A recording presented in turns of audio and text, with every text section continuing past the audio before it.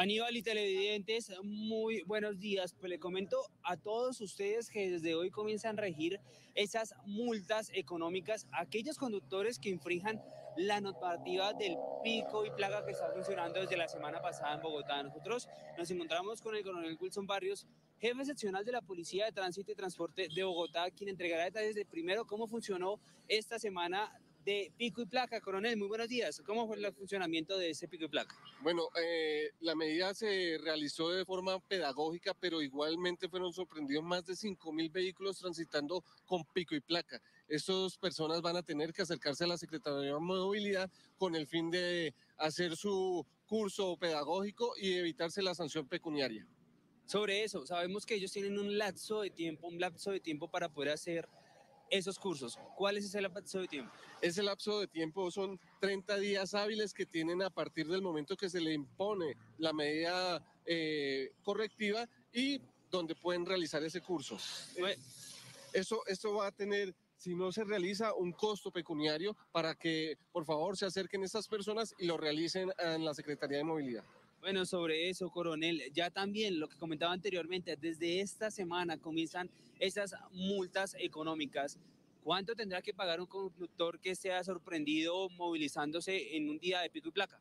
Son 15 salarios mínimos diarios legales vigentes. Esto corresponde a 522 mil 900 pesos, pero aparte de eso, la persona se le va a inmovilizar el vehículo y se va a llevar a los patios. Esto va a tener un costo aproximado de 300 mil pesos más al comparendo que corresponde por conducir por pico y placa. Y recordar los días que puede estar su vehículo también en patio. Así que si tiene en cuenta estas cifras económicas, es preferible que deje su carro en casa si tiene pico y placa, ¿cuáles son esas recomendaciones y el llamado que hace a los conductores precisamente para que no infrinjan la normativa? Bueno, hay personas que en este momento pues eh, no conocen bien el pico y placa, por eso deben en el momento de salir eh, de sus viviendas reiterar y verificar que el número que corresponde pues no le corresponde al pico y placa y además hay otras personas con un poco más de escrúpulos para evadir esta, esta medida y están colocando, no dejar visible la placa,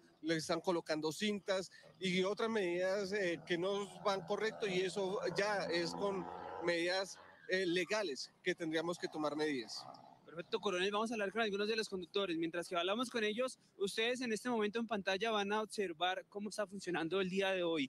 17 de enero, el pico y placa. Recordarle a todos los vehículos que terminen en placas 6, 7, 8 y 9 tendrán restricción en la movilidad desde las 6 de la mañana a las 9 de la mañana. Vamos a hablar con estos conductores. Muy buenos días. ¿Usted qué piensa al respecto el día de hoy del funcionamiento del pico y placa y lo que ha venido desarrollándose desde la semana pasada?